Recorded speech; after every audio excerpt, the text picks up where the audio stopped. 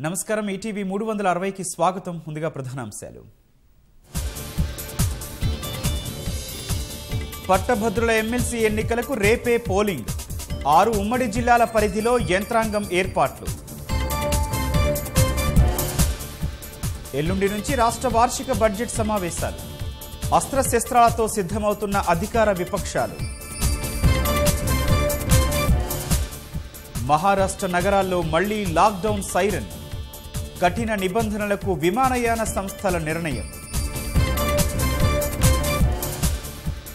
నిబంధనల ఉల్లంఘనతోనే మహమ్మారి ఉధృతి.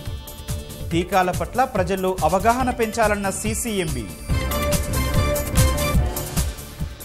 ఢిల్లీ సరిహద్దుల్లో ఆందోళనపై వెనక్కి తగ్గని రైతులు. పోరాట కేంద్రాల్లో శాశ్వత ఆవాసాల నిర్మాణం.